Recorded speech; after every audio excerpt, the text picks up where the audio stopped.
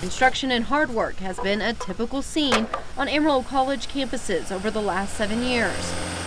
It helped to just really improve the whole process of education because it gives, you know, the students additional time and exposure to all the, you know, the material that they're being taught. Moving houses, paving parking lots, building a new science lab, updating existing buildings, updating the Badger Den, and building up the nursing program with the addition of Stephen Jones Hall.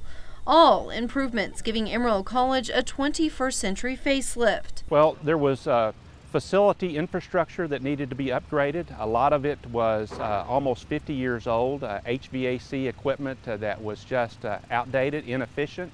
Usually you come to a community college, you know, and you don't expect there to be super awesome facilities, you know, because everybody comes here because it's cheap, right? But like you come here and you get a good education and you actually have nice facilities.